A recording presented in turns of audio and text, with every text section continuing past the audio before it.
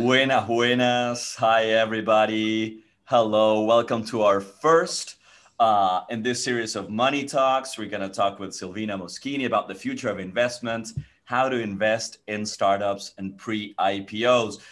Silvina, uh, I would like to introduce you as a lot of things. You're, you're, you, you, you, you, you managed to take a company uh, to unicorn status, and you're also executive producer of the show unicornhunters.com.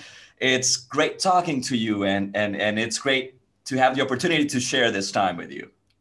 Thank you, Diego. I'm super excited about this opportunity to talk to you, but also to uh, many of the people out there. Many of them are our investors, many of them are our friends, and many are people who want to know how they can make big money by identifying companies that are potentially going to be the next unicorn at a very early stage so they can make a lot of money by being part of the shareholders and being part of their journey. Yeah, and this is why you you're producing a TV show called Unicorn Hunters. Uh, could you tell me just a little bit about it, please? I can tell you a lot about it, Diego. This is uh, part of our journey, as you know. I'm a technology entrepreneur. I uh, embrace one concept that as women, we many times uh, relate very closely, which is we skirt the rules, we think creatively outside the box to find ways to get things done and to build, in this case, exponential organizations. So we raise money using the Jobs Act. The Jobs Act, for people uh, that are not familiar with that, is a regulation that President Obama brought to uh, empower small and medium businesses, startups, and scale ups to raise money by advertising the selling of small part of the company of their equity to private individuals to retail investors. So so that would be in a in a way it would be like crowdfunding an IPO, something like that. If we could say something, something like this around that, that space, there are uh, within the Jobs Act uh, many different uh, regulations or uh, instruments that can be used. And I will invite our team to share information with our audience about the video of President Obama that is in our website at Unicorn Hunters, where he explains what the Jobs Act is, is about. But in general terms, it's allowing people like you, like me, like many of the people in our audience, to identify companies that have the potential to be the next SpaceX, the next Facebook, and invest from a smaller amounts in these companies when they are young enough so they yeah. can make a difference. What, one tiny thing you can ask questions we have the, the the the open panel for for questions and we'll we'll get to them uh, in the course of this conversation. Anyway, um, Silvina, so let's get back to the show. Uh, what happens in the show? Tell me just very quickly. You you choose companies that will come and tell you about what they do and and they have potentially the opportunity to get a lot of money. But the most interesting thing, Diego, is that we are creating a new genre. We call it yeah. entertainment because it is entertainment because we created a show that is exciting. It has um, a lot of uh, great information, nice dynamic. It's a, a business show, but it can also allow people on the other side of the screen to co-invest. So the companies that are presented in our show has gone through a very comprehensive uh, due diligence and selection process. They pitch their business, why they need the money, so as a circle of money, which is a group of investors, and I will tell you more about that, we decided whether we will invest or not, and then we invite people in the audience to join us as co-investors. And it's super, super exciting, fast-paced, interesting, educating, and of course, we seek to make it entertaining as well. Yeah, I want to go into something first. Uh, the audience can invest in the companies, but second, um, what kind of risks are associated with this? What what how do you see? You know, every investment entails a risk. Um, what kind of risks come along with uh, the potential uh, co- the companies that you can potentially invest in? The risk associated to uh, venture investment. For example, if you have um, your money and you put it under your mattress, unless someone get into broke into your house you have the certainty that the money is going to be there. But if you invest in uh, startups, uh, especially startups at early stage or at the stage in which they are starting to grow, there are risks associated, but there are opportunities. So, for example, just to give you an idea, when a person um, invested in, er in, early stages at Uber, and I'm thinking Oren uh, Mitchells, and I will share the link if uh, Eva help us out there uh, on what was the return on the early investors in a company such as Uber. This gentleman invested $5,000. Yes, he could have risked losing it all because if Uber didn't get the money, didn't get the permit, didn't seize yeah. the market and transform a complete industry, he wouldn't have had a massive opportunity. But he invested 5,000 and at the moment of the IPO, he got uh, over $24 million in return. And this story happened uh, across uh, different industries in early stage companies that have the potential to become unicorns. And these are the type of companies that we are presenting. But more importantly, Diego, is people need to understand that these are risk investment. So they need yeah. to be prepared to lose it all and hope that they will make a lot of money or some money along the road as well, but knowing that this is a, a, an investment, and as an investment, it's a smart gambling. There are. We'll get back to this. We'll get back to this, but um, I want to. I want to just do a very quick recap. We have the Jobs Act uh, uh, passed during the Obama administration that allows this kind of investment. Is there any other regulation that we have to keep in mind uh, around this, or just the Jobs Act? In Jobs Act, there are different type of regulation. For example, mm. we use in the United States Regulation D that allows only accredited investors. And accredited investors are people who makes a certain amount of money and it's assumed that they have the understanding to make or the access to make uh, wise decisions in investment.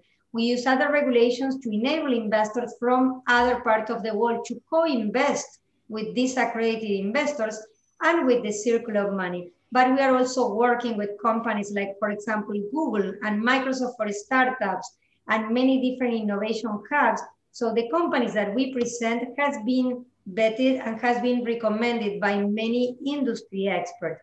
Still, a risk people need to understand that they need to do their homework, they need to educate themselves, they need to consult and they never ever ever need to risk more than what they can afford because this is a risk investment and we need to make it very very clear because in these bets there are massive opportunities but also it could be lost and they could lose all the money altogether.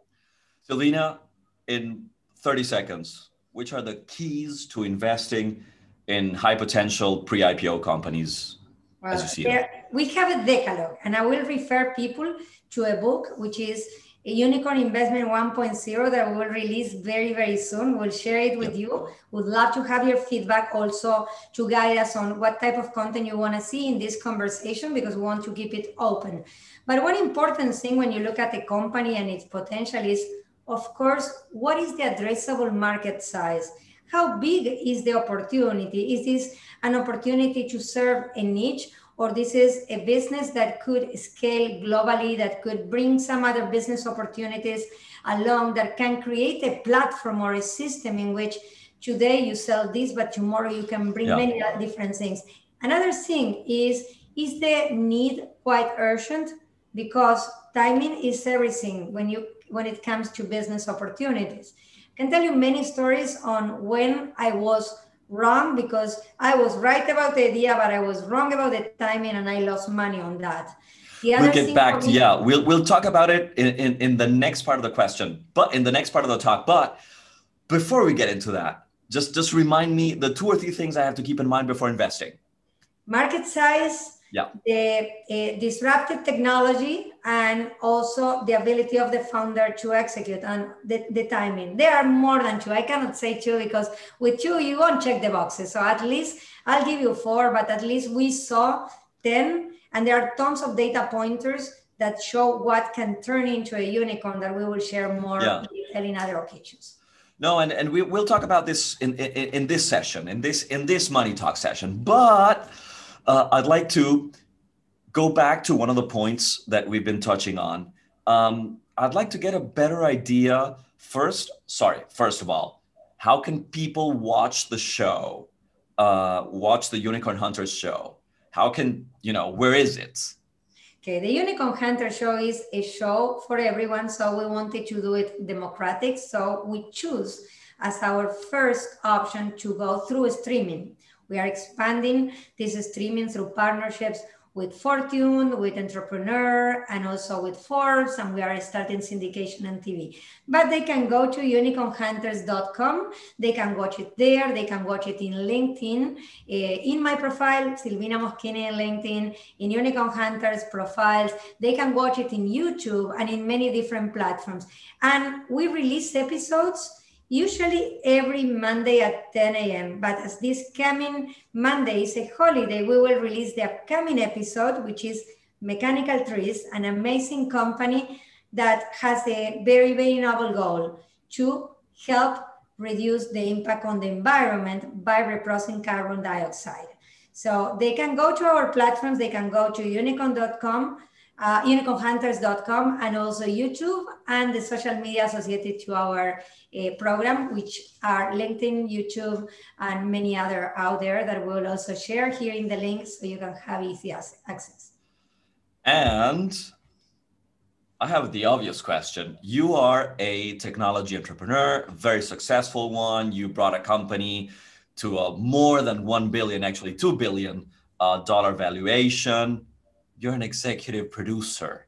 How did you exec how did you get into into television? How how how did you go from your uh, personal um, company uh, global placement of stock that made your company a unicorn into um, sitting at a panel that is called the Circle of Money with Wozniak Bass, uh, Rosie Rios, and, and other uh, very well other uh, significant names. Let's let's put it in those terms.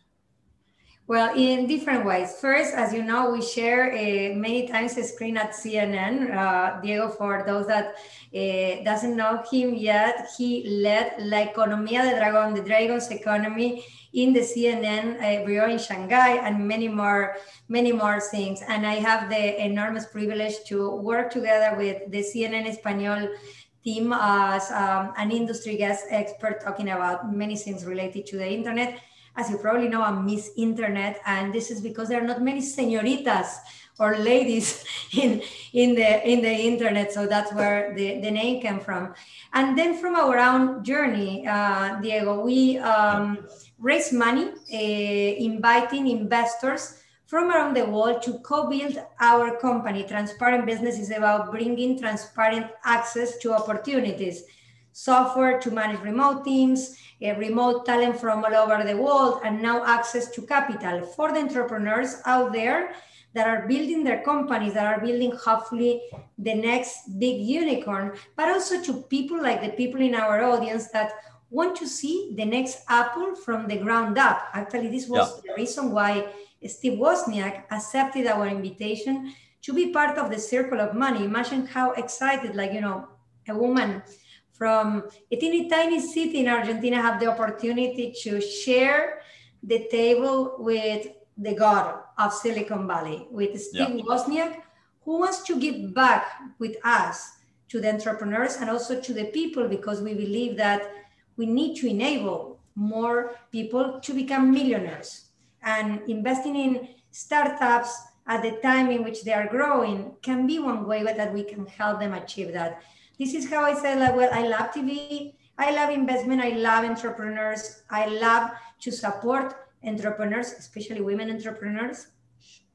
And we said, why don't we take a show in which we can educate the masses about the opportunities out there brought by the Jobs Act to invest alongside with top luminaries from the world uh, in companies that could be the next Apple or the next Facebook or the next SpaceX. So here I am. Yeah, and Silvina, you whenever you're you're you're at the Circle of Money, you you you the the, the entrepreneur, the project, the company uh, tells you a lot about them. There's a pitch. They explain. They answer tough, very tough questions And then there's a moment in which you, des- you decide whether you'll invest, you will do your homework, or not invest. I'd like to understand what drives that decision in you uh, at, when, at that point in the circle of money. What kind of thinking, homework, uh, what kind of due diligence goes uh, in that process? Okay, Diego, every person invests for different reasons. So I can talk about myself and I can tell you some other reasons why other people will decide to invest. Um, well, I review a lot the companies because we have access to their investor pitches. They pitch to different panels and experts before getting into the show. There is a lot of screening going on from the companies that are recommended by our partners and that we scout on our own. So for me, what is important? I look at the founder. I want to know that the founder has a lot of skin on the game. I love founders that invested their own money and that they are out there to do whatever it takes to make the company successful. So you need to see the fire in their eyes because this is super tough. And as a founder, I know that many times you want to quit, you want to give up, give up, but you have a dream and you have a purpose, and this purpose makes you unstoppable. Also, I look at the purpose as well. And if this company has a purpose to solve any of the most pressing issues that the, the world is uh, today facing, I would like that because I want companies that not only propose and suggest opportunities to do good businesses, but also that impact people, planet, and profits. Because at the end of the day, we need to generate profit for our shareholders. Yep. And also for me, it's super important that it's something that I can understand and relate to.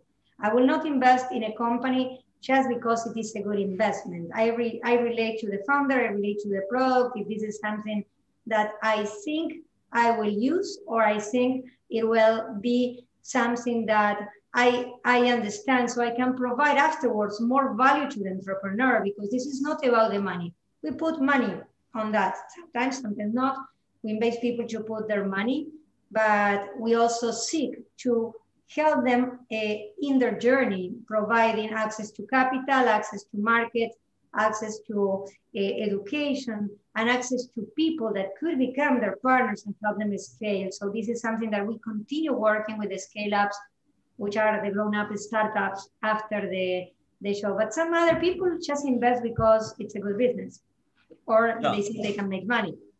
Nevertheless, I'd like to know when you promise an investment in the show, you do it through the same vehicles that the company offers to the public. You're like one more member of the public or the audience that's watching that entrepreneur, right? And exactly the same terms. So we don't invest in different terms. We invest mm-hmm. exactly in the same terms that the general audience uh, will invest. And the transactions are handled by each one of the entrepreneurs or their investor relations team. Our job is to uh, select the startups or scale ups, present them grilled with all respect the entrepreneurs in the show, decided whether we will invest or not. Sometimes we invest, sometimes we don't. Some, some people invest, sometimes uh, all the people invest, like as we saw with Lauren Foundos, uh, an incredible entrepreneur, founder of Fit Forte Wozniak said, like, I admire your engineer. I almost had a heart attack because I was so happy to see a women founder in front of the god of Silicon Valley saying that he uh, treasured her engineer and he admires the work that she she does. But exactly the same terms, but the, the transactions are dealt by each one of the companies. So they can ask any kind of questions to them, request the PPM, which is a private placement memorandum, do the research.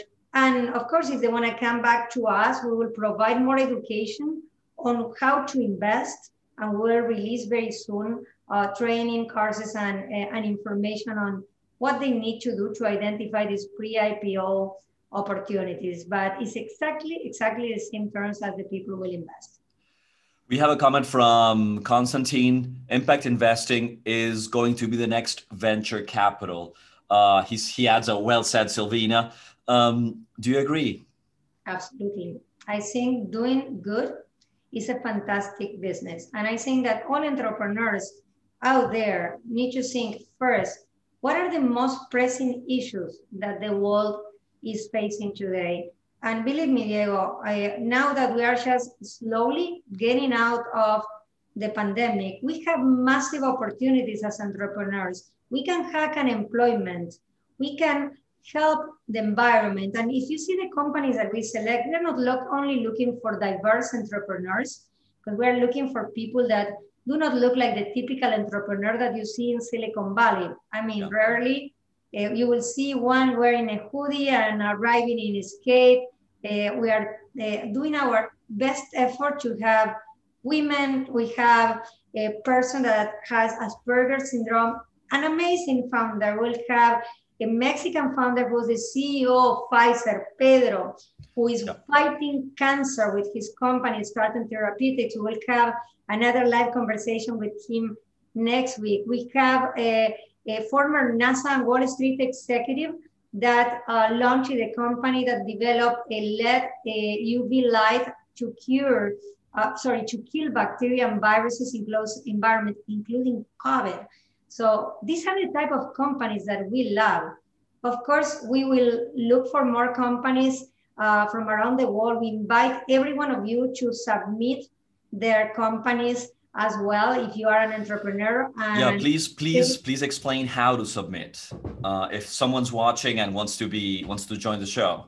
Okay, there are conditions that we uh, have for the pre-screening. We are looking at companies that are valued between uh, 20 and 60 million dollars because they are a scale up for this particular show. We'll have another program for earlier stage companies. We own companies that had a super solid management team that has a proven business model. So we want to see traction. We need to understand also that the market is ready for them and that there is an urgent demand and companies that can scale fast if we provide the money, companies that are looking for 20 to 50 million uh, years, this will be our sweet spot this, uh, this year. And they can go to unicornhunters.com and in that link that Eva is going to share, they can submit their application we are going to release the second batch of the first season. The first season, of course, is the pilot. We are learning from you, from your feedback.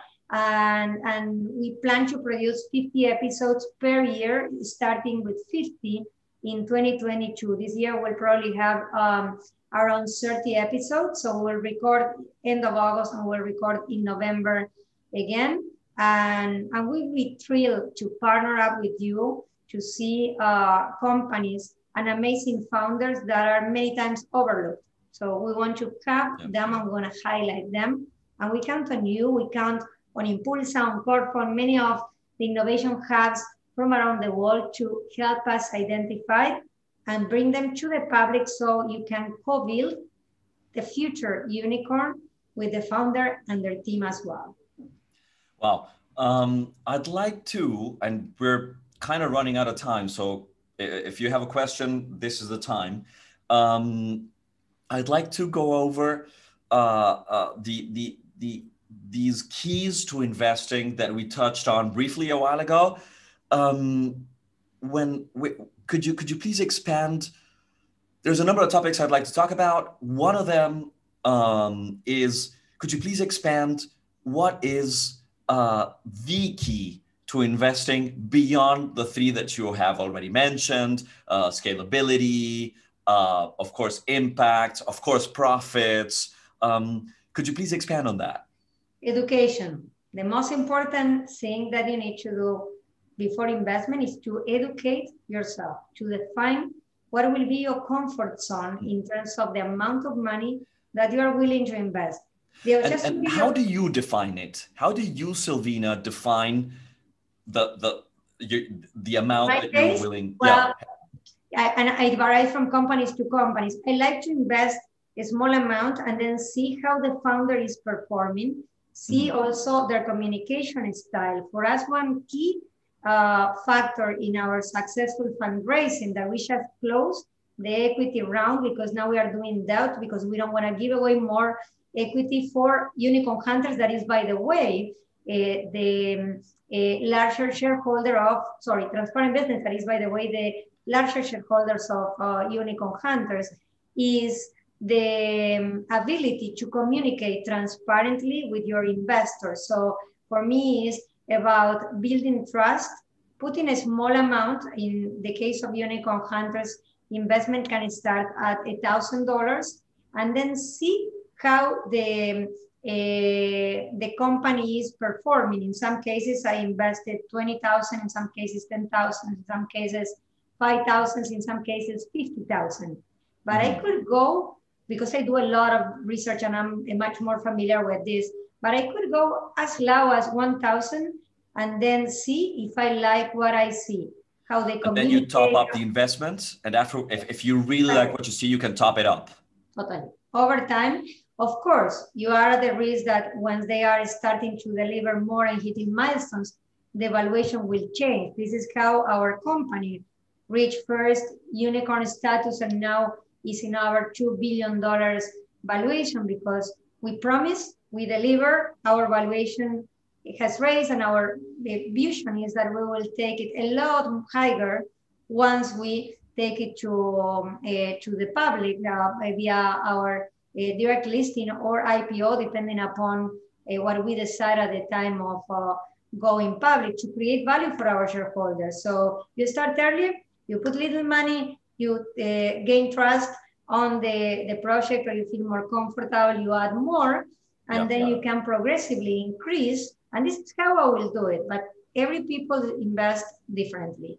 Some people, mm-hmm. you know, said like, if I invest like a hundred thousand dollars and I don't mind uh, losing them. Or like, for example, I'll give you a number. Garrett Camp, early investors in Uber. He invested $220,000 and his return was over $1 billion at the moment of the IPO. Okay, Garrett has spare money. So if he loses like 200,000 is like, you know, for some people is I won't say like pocket change because I won't be disrespectful because it's a lot of money. But if you have a massive amount of money, so like you don't really care, the larger the amount, the chances are bigger that if the investment uh, grows, it, it can be significantly more impactful and important. I have one final question uh, that you just mentioned. You said you do your homework, you take your time, you do what you should before investing, which is which is key to any investment and to any money decision in life. Um, do you have a favorite source for doing well, I yes, well, Google. I do a lot of research on Google. I yep. look at what the media, the analysts. I try to understand as much as I can uh, the industry. I try the product or the services myself if they are available. I uh, do as much as I uh, can on my end, also, of course, reading carefully the PPM. But I also tap onto experts. Like, you know, for example, if it's a product that I don't understand, I ask expert. And this is about the reason why we build up a circle of money with people that comes from different walks of life and expertise. Like Steve is the engineer. So if I want to see how a product is built from the engineer standpoint before making a decision, if Steve says that she likes it, it's super big deal for me because I trust his judgment even more than I trust my engineering judgment. And the same thing with because I'm not an engineer, by the way. and Rosie Rios, Treasurer of the United States, her signature is in 85% of the currency that is in circulation. So she knows money. Or more, talking about regulation that could impact the building, uh, the building of the company, or that could impact the, the future because there are like potential things that are related to makers or breakers uh, on in terms of uh, what can be done or what can cannot be done in an industry that uh, someone with strong knowledge of public affairs or policy making can understand much be better than the lay person out there. So I look at them and see, okay, yeah. there any hack, any potential massive break that can accelerate this? And of course, I look at Alex, my co-founder, a massive source of inspiration for me because he built a, an, a, a massive emporium, emporium, uh, emporium in his early 23 in Russia uh, before yep. he uh, deflected from, from Russia because he didn't like the communism when he built the largest commercial bank in the country and the largest stock exchange at the age of 23 because he acted on opportunities. Um, Silvina, we got to go, but before we go, uh, Constantine asks, would you which book and you have only one slot you cannot you cannot give me a shelf i give you only one opportunity. Which one book would you recommend our uh, followers viewers right now uh, to go out and read? Well i love one book that is about understanding the hardship of building businesses which is the hard things about hard things. This will be one of the books that if you want to get into the entrepreneur's mind and everything that he goes through, this will be the book that you will read. And it will help you also to understand how opportunities arise. And give me another one. I will give you another one. So mm, if you feel um, like um, okay, more, okay, it's Fourth of July. Come one on, more, give me but one not more. not more than that. Super Only one. Fun. Read the story behind Uber and see how companies can massively disrupt industry yeah. by going against pretty much anything. When you have the right amount of money and you have the right amount of founders and the right business that will change how things are done, massive things and massive returns can happen. So Super Pumped, written by a reporter who has followed Uber for a, a long, long time, can give you a lot of insight on how a company uh, changed from being starting as an illegal tax operation in one of the most iconic companies of our times. Super fun. I, I, I strongly recommend that.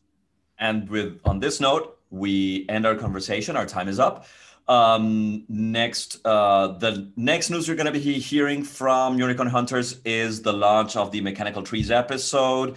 And of course, stay tuned because there will be many more uh, Money Talks with uh, and guests, and this will continue.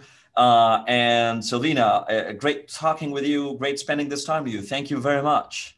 Absolutely, my pleasure. And I'll take the opportunity to invite people out there and their friends and their families and anyone that they want to bring into the investment table to sign up at Unicorn Hunters to be part of the Unicorn Hunters Club.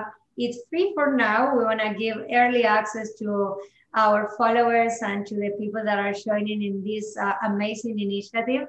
So you'll have uh, the first and the best information on how to hunt for the next unicorns. And thank you, Diego, and thank you everyone for joining us as well. Great. So we'll meet again in the next in the next few days in another money talk. So stay very tuned, and we'll meet soon. And of course, follow the unicornhunters.com page to stay across the latest. Bye. See you later. Bye.